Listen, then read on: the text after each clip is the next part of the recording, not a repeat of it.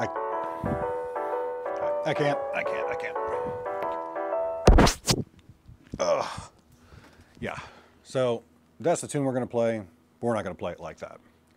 Check out the new intro.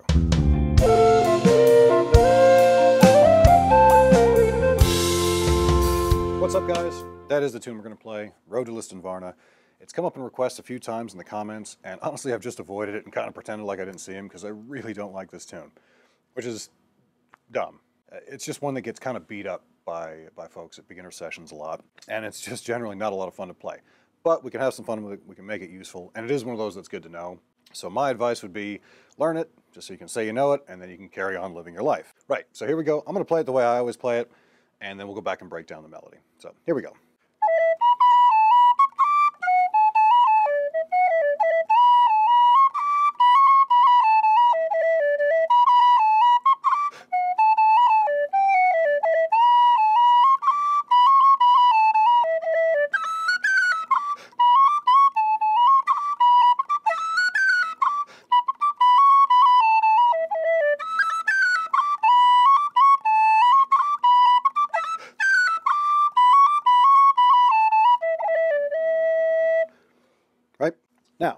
Basic melody, we'll run that through fairly quickly because hopefully it's one you've heard and, and you can get, get behind your fingers fairly fast. Uh, so we'll start off with the A part of chorus.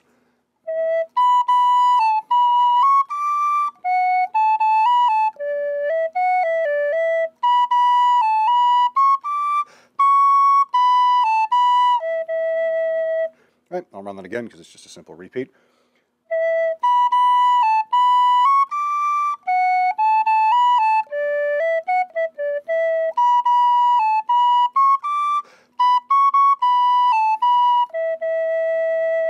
B part jumps up to the second E.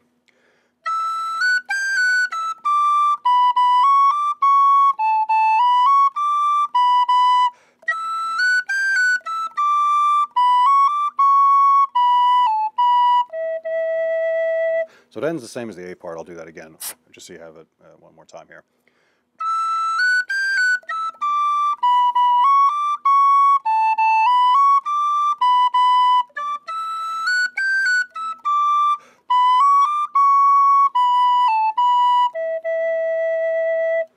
Right, so there we go.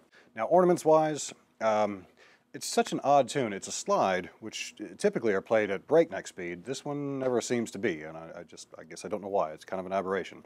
Uh, but ornaments wise, here's the few things that I would do right off the bat. Um, I just like to do a couple short rolls on those just because you're just sitting on those notes for a bit. So.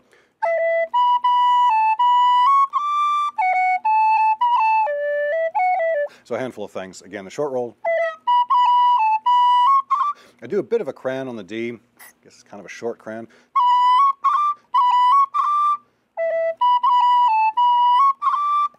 And another short roll on the on the uh, F sharp, although you could do a triplet or a full roll. That's how I like to do it. Uh, so just a simple cut there.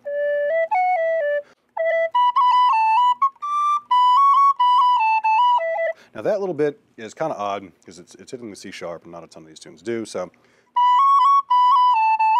go from the C sharp to the B. It's just kind of a bit of an odd transition. So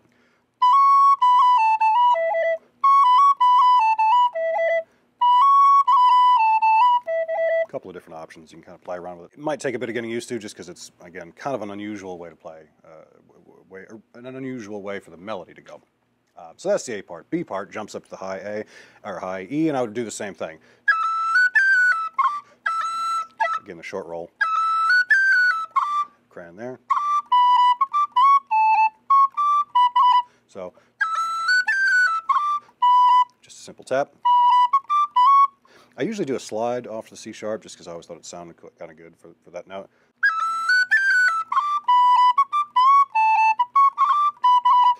Every time we hit that D, I tend to do a cran. Just gives it a little bit more of a punch, and you kind of have time uh, to, to work those in there. So,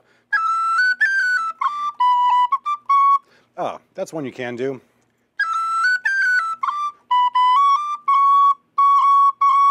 Uh, I think I demonstrated that a while back. It's an unusual ornament. I don't see a lot of people doing it, but and it's it sounds kind of cool, but you have to remember to get back to that B quickly.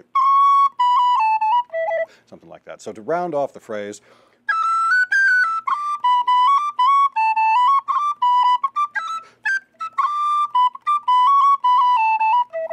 that's kind of the same as what we did on the A part.